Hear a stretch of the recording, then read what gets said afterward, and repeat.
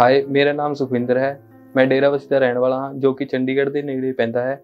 ਮੈਂ ਆਪਣੀ ਪੜ੍ਹਾਈ ਕੰਪਲੀਟ ਕਰਨ ਤੋਂ ਬਾਅਦ ਕੈਨੇਡਾ ਜਾਣ ਦਾ ਸੋਚਿਆ। ਮੈਂ ਆਪਣੇ ਜਿਹੜੇ ਕੈਨੇਡਾ ਰਹਿੰਦੇ ਫਰੈਂਡ ਹੈ ਉਹਨਾਂ ਤੋਂ ਪੁੱਛਿਆ ਕਿ ਮੈਂ ਹੁਣ ਅੱਗੇ ਕੀ ਕਰਾਂ। ਤੇ ਉਹਨਾਂ ਨੇ ਮੈਨੂੰ ਸਾਰਿਆਂ ਨੇ ਇਹੀ ਸਲਾਹ ਦਿੱਤੀ ਕਿ ਤੂੰ ਅੱਗੇ ਆਈਲੈਟਸ ਦਾ ਪੇਪਰ ਦੇ ਤੇ ਮੈਂ ਵੱਖ-ਵੱਖ ਥਾਵਾਂ ਤੇ ਜਾ ਕੇ ਆਈਲੈਟਸ ਦੀ ਪ੍ਰਿਪਰੇਸ਼ਨ ਬਾਰੇ ਸੋ- ਪੁੱਛਿਆ।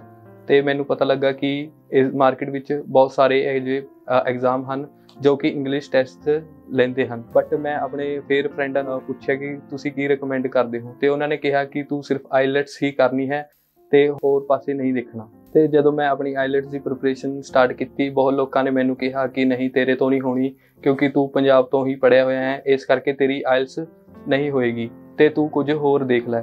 ਪਰ ਮੈਂ ਸੋਚਿਆ ਕਿ ਨਹੀਂ, ਮੈਂ ਇੱਕ ਵਾਰੀ ਇਹ ਆਇਲਸ ਦਾ ਟੈਸਟ ਜ਼ਰੂਰ ਦਵਾਂਗਾ ਤੇ ਮੈਨੂੰ 3 ਮਹੀਨੇ ਵਿੱਚ ਮੈਂ ਇਹ ਆਪਣੀ ਪ੍ਰਿਪਰੇਸ਼ਨ ਕੀਤੀ ਤੇ ਮੇਰੇ 6.5 ਬੈਂਡ ਆ ਗਏ ਨੇ। ਉਸ ਤੋਂ ਬਾਅਦ ਜੋ ਕਿ ਮੈਨੂੰ ਬਹੁਤ ਖੁਸ਼ੀ ਹੋਈ ਤੇ ਇਹ ਰਿਹਾ ਮੇਰਾ ਵੀਜ਼ਾ ਜੋ ਕਿ 6.5 ਬੈਂਡ ਤੇ ਲੱਗਿਆ ਹੈ ਤੇ ਮੈਂ ਅਗਲੇ ਮਹੀਨੇ Saint Clair college human resource ਦੇ ਕੋਰਸ ਵਿੱਚ ਜਾ ਰਿਹਾ ਹਾਂ। ਤੁਸੀਂ ਵੀ ਸਾਰੇ ਆਇਲਸ ਦਾ ਪੇਪਰ ਦਿਓ ਤੇ ਕੈਨੇਡਾ ਆਓ। See you in Canada because Canada ਮਤਲਬ ਆਈਲੈਟਸ